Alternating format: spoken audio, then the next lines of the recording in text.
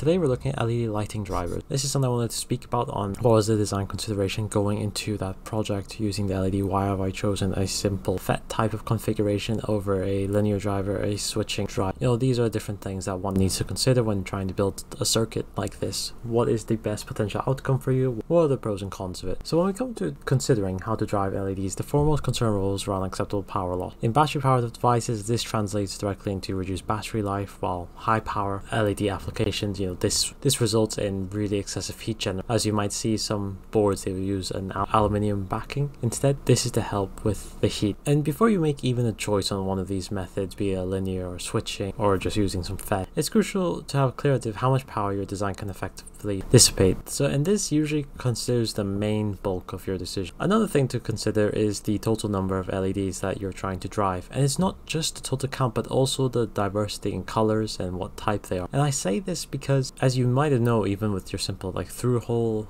LEDs, like they all have different voltage ratings and current, maybe some different standard current rating. You know, so these things are you need to take into consideration. So the greater the variety of these things, the more complex the task becomes, and matching forward voltages between different LED stands becomes a bit more of a challenge. As well, to add to that, the LED count plays a pivotal role in determining the required driving voltage for running them in series. This brings us to linear drive circuit. What this is, is it is characterized by dissipating excess power primarily in the form of heat. It's usually the simplest to configure and can be the cheapest slash easiest option. Here we are in the project itself, and you can see I've opted for this kind of configuration of a linear drive circuit. This is the, well, by far the most easiest way to do it. It is a simple LED resistor circuit driven by FET. You can have this plugged into the GPIO of a of a microcontroller and that would achieve the task. Though the significant drawback of this is that it's dissipation of excess power and also ensuring the adequate voltage headroom to drive these LEDs are essential. You also need to make sure, and I'm just adding things that if you're deciding to drive from a microcontroller, you'll find that it has a maximum current output somewhere in the datasheet of your chosen microcontroller. And this is where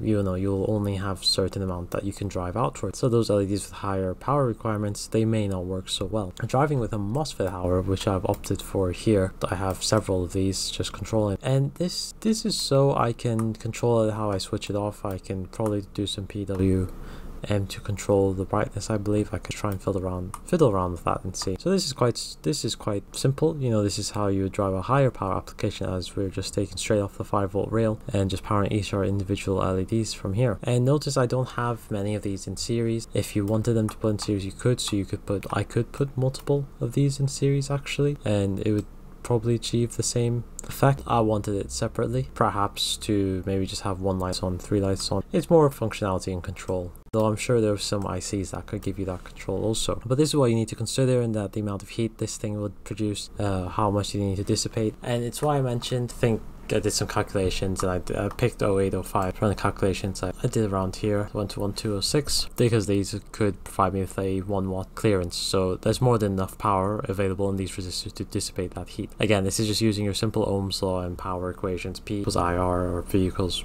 I or P equals I squared. Something you can do is that if the power is getting too much to handle in a linear LED circuit, so for example if these resistors would were too much to handle uh, for one package what we could do is place two instead. So I could place another one over here and this I could separate these to 12 12 13 whatever. And this would uh, separate and dissipate the heat more even. So this this so you can actually practically employ a smaller size resistor if you're concerned for space. And because it's small size you, you have a lower power rating but essentially it'd be the same if you play it and see you're placing these resistors because they are well, what was going to be generating heat and try to emit that. You could we could place them strategically around the board to dissipate heat even more, so we don't need to keep them all in one big hotspot, for example. So one thing you might be asking, so why don't we just use this for everything?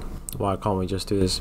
And the thing is, a resistor circuit can provide a constant current source, which is where LED drivers come into play. Many integrated LED drivers supply consistent current to an LED strand, offering significant convenience compared to a resistor-driven circuit. However, it's important to understand that these drivers still utilize linear technology, so you need to be really careful with the heat it's going to produce and make sure you dissipate that effectively. Take a look at this datasheet over here of a K KTD2 2026. It is a simple constant current RGB slash white uh, linear driver I've chosen and you can see you can get these in different settings so you could we could have used this one actually and I'll pick on the reasons why considerations as well. We could have used this device actually to, to drive our LEDs that would have been totally fine. And you know, we have we could use this control versus I squared C. So we could see with an unchecked controller, LED blink rate, fade in and out, user adjustable, result, color light. So this thing would have been totally fine for our requirements also. It probably would have been cheaper than several FET. It is what it is. I might just put this in actually and you know have a difference to have a play around with it and be no issue. But it's again, it's giving yourself more work how comfortable you are with coding. So with GPIOs I could just flick it on and off. I was a bit more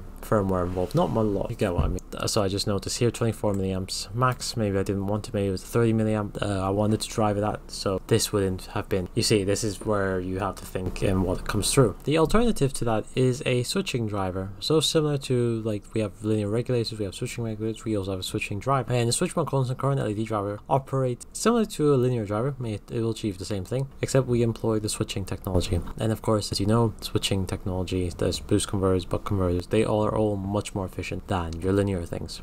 Up to 80 90%. Pay a bit more, probably get 95. Though one notable thing is that it is a higher cost and they un introduce unwanted switch mode noise into the system. So if you are designing this for some application or EMC and you had multiple different switching drivers, it may not be the best thing it's you're probably the cost would go up even significant because you have more filtering to do and sure everything passes and whatnot so this is something you need to think about and do I really want to have this trade off for the or is, is heat more of a bigger concern? This is why I would do this is why I want to employ this. So again we have this data sheet another one from Diodes Incorporated. And we have a, a switch mode sw step down converter. It's I'm not quite sure what it's stepping down to the voltage we'll see. And we can see we have our inductor kind of similar to a switch mode circuit that you'll see it says we can adjust we have a PWM waveform so we could actually do that part the dimming and the adjustable. Uh, we can adjust pin we can have different options to what we want to do with it. So this is some configuration that you might see if it fits your needs and what you want to do so it's not only this there are also buck boost drivers that could drive from a certain voltage to a 20 volt so it could save you the hassle of employing another regulator of some sort while you can have this all in one device. So instead of having two power sources, maybe two switching converter supplies, you could just have this one for just for purely for your LED. Let me see the device operation from itself. So it's really just a trade-off into what you want to consider. Is that do you really value that efficiency and that heat being dissipated effectively and you may not, you know, maybe you're not worried about the noise, whatever, maybe it's just one-off thing or home device and you have the app go ahead. Or perhaps you're more concerned that you may a linear device and you can get away with that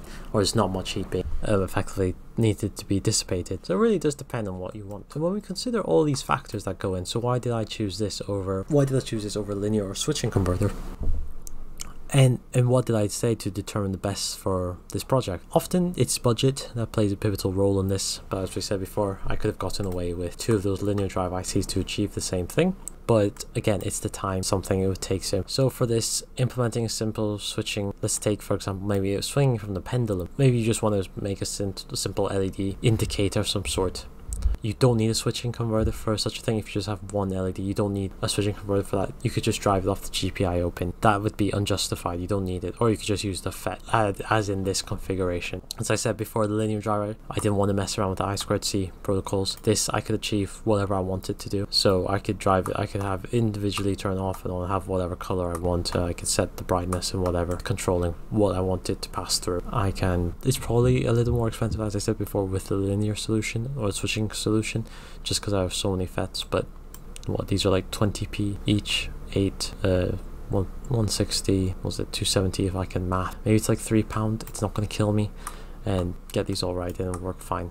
And the time it takes to integrate and like set all these up compared to iSquared again it takes more time than what I want to deal with. So that's that's all I wanted to say. I hope hope this was explained thoroughly into the into the different application of the LED driver circuit. And again it always comes down to money so the main three things that before I end off is uh, ultimately consider things like heat dissipation, efficiency, and the cost. And those three should really give you a good indicator of what topology you want to go with and what you should employ in your circuit.